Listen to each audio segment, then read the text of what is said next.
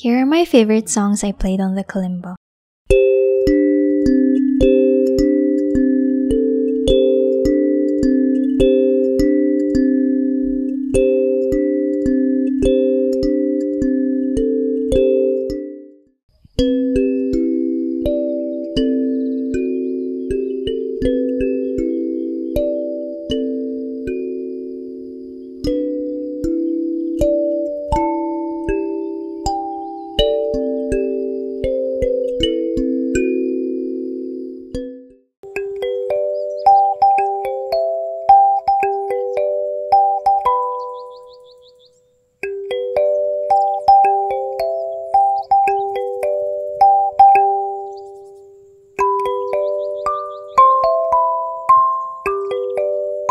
If you want to learn these songs, all the tabs are in my website, kalimbaclasses.com.